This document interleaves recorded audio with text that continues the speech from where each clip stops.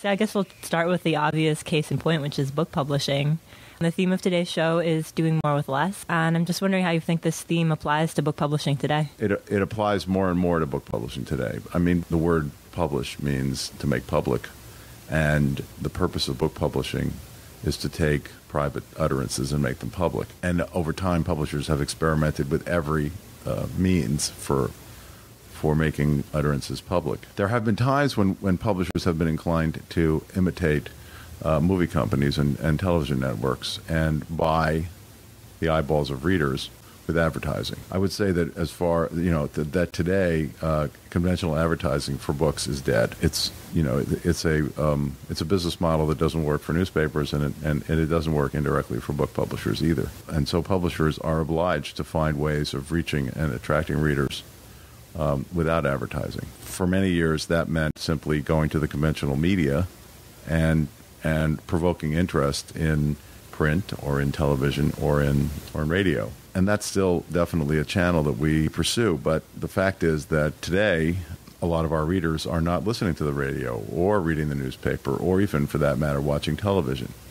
Uh, and so we've been obliged to find other ways of attracting their attention uh, that are effective. It's evolving so much faster than any marketing space that I've ever, uh, you know, that I've ever participated in that it's breathtaking. It's truly astonishing the rate of innovation that's going on right now in marketing ideas. Yeah, well, later in the show, we're talking with Nancy Lublin, who shared a story about how she made this $20 video that got out to over a million viewers, I think, and became this giant national sensation. Do you think something like that would have been possible even a few years ago? Well, obviously not. Uh, it's all technologically enabled. And I'm just curious about what made you decide to buy Nancy's book and if you feel like these books about sort of getting by with less resources are are saturated in the marketplace or if there need to be more of them? This book started out as an idea. So somebody told me, well, there's this extremely dynamic uh, woman who, who has run two successful nonprofits and is interested in writing a book about what the world of nonprofits can teach capitalists. And I thought that was a, a, an extremely presumptuous idea and was pretty skeptical about the whole thing. However, then I met Nancy, who is a very serious individual and truly a force of nature. In this universe where uh, where there is a new idea every minute, she stands out as being an idea generator, which is not easy to do. This is an individual who has so many ideas, and many of them are good. And it was clear to me that just capturing some of her ideas on how to innovate and how to motivate people without using cash inducements could produce a book that would be useful that would be unnatural for the nonprofit sector, but also be extraordinarily useful for the sector of the capitalist world that's, you know, cash poor, like startups. It's like a little rule book of innovation. It's just absolutely astonishing in that way. So, needless to say, my first meeting with Nancy was transformative for me. I was convinced immediately that this is somebody who has a lot to say that's useful.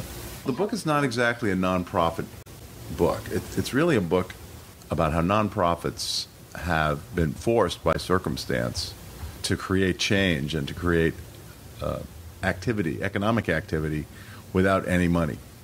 And so, anybody who runs a successful na- uh, nonprofit, which Nancy Lublin has run two of them, uh, has learned how to use incentives other than money to provoke performance, basically. And it's really a book on performance enhancement techniques for the economically challenged.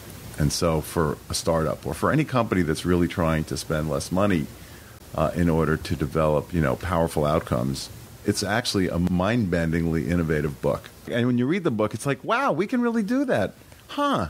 I hadn't thought of that. You know, it's kind of obvious, but now that you mention it, it's got that quality. We don't need the $2 million advertising budget. We don't. In fact, we shouldn't use the $2 million advertising budget. What happens when you use the $2 million advertising budget basically is that you tend to do the same thing over and over again.